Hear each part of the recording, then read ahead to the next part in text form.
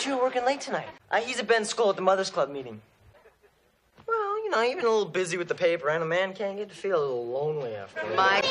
Wow, what neat stuff! Oh, don't touch those, Ben. Those are grab bag prizes for your carnival. Ah, this isn't a gift from God. Whoa! Yeah, we're working here. Day, fifth and final card. A seven from heaven, whoa, three of a kind. A ten, lousy luck, ride the garbage truck. And a Jake, what's that make? Two pair, life's not fair. And an ace for the ace. Uh, another full boat, dealer wins again. And on behalf of all the little children, well, very little of what Ben does makes sense. Yeah, good idea. She's just as weird as he is. Hey, now, Carnival's almost over, folks. We don't want you to go home with any coupons in your pocket, so you can help out over here and sink a shrink for charity.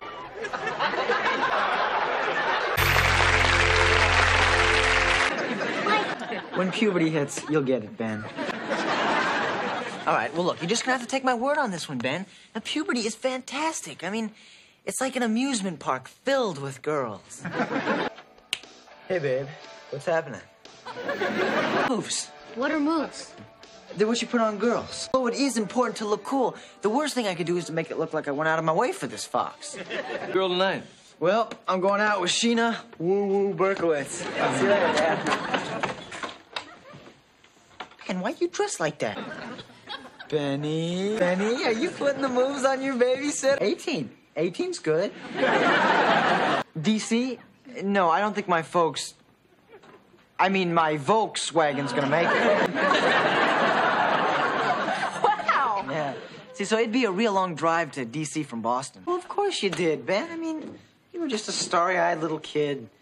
But I guess it's time you learn the truth now that you're a guy. We kind of wanted to know your thoughts. Wrong. Look, first, I'm the guy who thought of this plan. And second, I let you help. No, no, Ben, Ben, don't call the snake Cecil. Ben, it's supposed to be a wild snake. Wild snakes don't have names. Mike, you promised me that you wouldn't bother your sister's slumber party.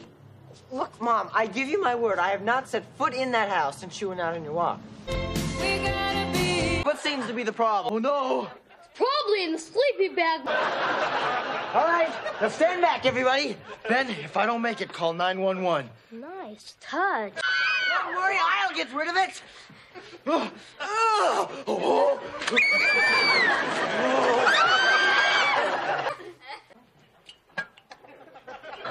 Did I hear someone mention the piano? TV. That ain't working. That's the way you do it. Money for nothing. Everybody, let's boogie. And we're just uh, protecting the women folk here, you know, especially since that giant prowler's been in the neighborhood stealing the nightgowns of teenage women. Can Take it in six months. All right, Bobby. Uh, no, I just mean Eddie and Boner are gonna go hang out. Uh, Dad, there's no need for you to have to have a talk with me. And, you know, there's no need at all for you guys to wait up for me. You're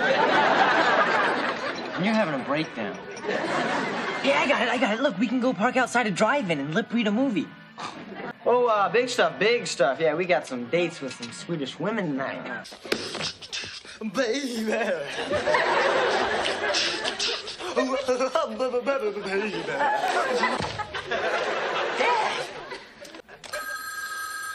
All right. Hello. Hey, Boner, my man, how you doing? Yeah, I could use a study break. Hey, Mom, what are you doing home early? Not from where I sit.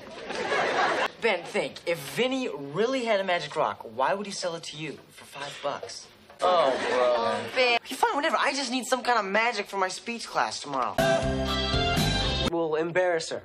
Which, of course, we will. Oh, I get it. This isn't just like a she geek. This is a he geek, isn't it? A total babe from the Honor Society. Underwear. And we'll have a very Merry Christmas, no matter what I get under that tree. Even if it's not the CD player that's on sale at Crazy Harry's Computer in Stereo City for only $150,